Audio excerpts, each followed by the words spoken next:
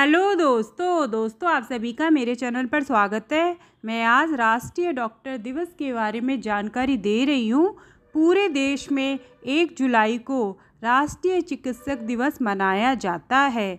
यह दिवस पश्चिम बंगाल के प्रथम मुख्यमंत्री और चिकित्सक डॉक्टर विधान चंद्र रॉय की याद में मनाया जाता है। उनका जन्म एक जुलाई अठारह सौ बयासी को हुआ था और उन्नीस सौ बासठ में इसी दिन उनकी मृत्यु हो गई थी।